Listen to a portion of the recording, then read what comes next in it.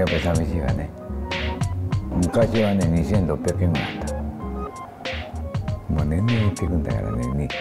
年間30件か40件減っていくらしいんだよね。今530件ぐらいかな。もう530終わっちゃったんでね。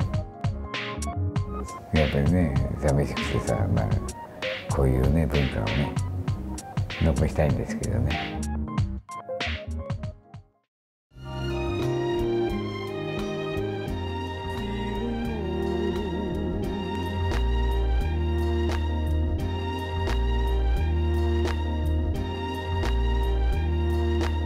はい。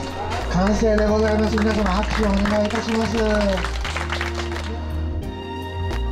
丸山さんの絵はあのすごいあの上手くてあのみんなもあの感動して海の色使いとかがすごい綺麗でした。また本物を見れて良かったです。スピーディーでなおかつあのすごい繊細な色使い。実物見るとやっぱり欲しいなって思っちゃ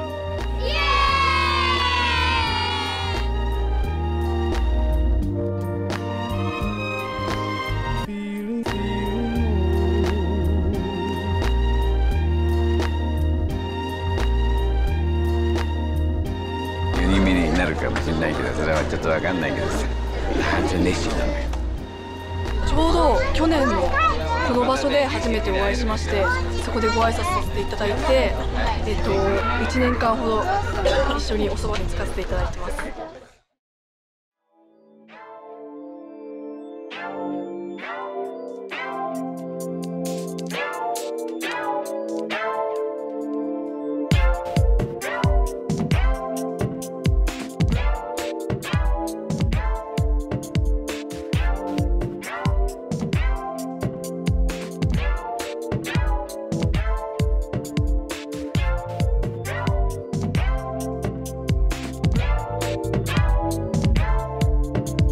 色とかのぼかし方とかも結構勉強になりました。丸山さんこの絵のことを子どもたちが質問したんですね。この絵は何点ですかという質問に90点ぐらいかなものを作る人は100点はないんだという話をされて。あもう100いじゃ100いかないよこういう職人さんの仕事を子どもたちに触れ合わせたいなと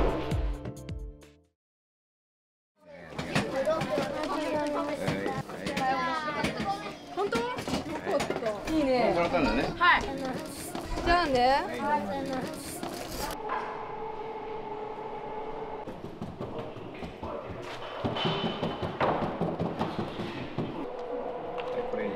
い。それもいい。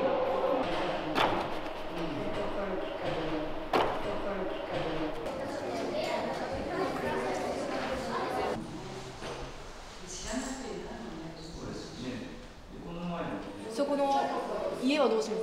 これはいいよはい。あんまり連撮りたくなかったけどさ。それで会ってみたらさ。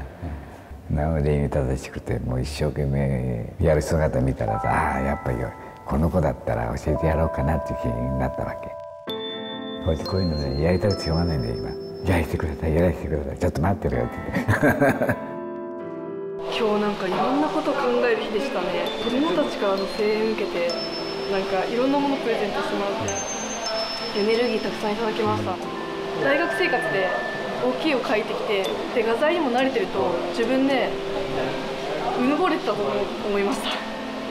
こんなに奥深いものでいろんなこと考えながら描かなきゃいけないもの思わなくて全力でやらないともう10年20年かかっても全然習得できないんだなと思います。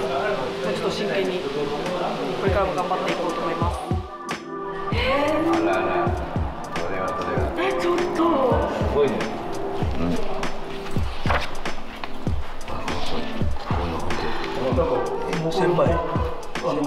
みがあると思う。だからこの4人目の会計士になると思うよ。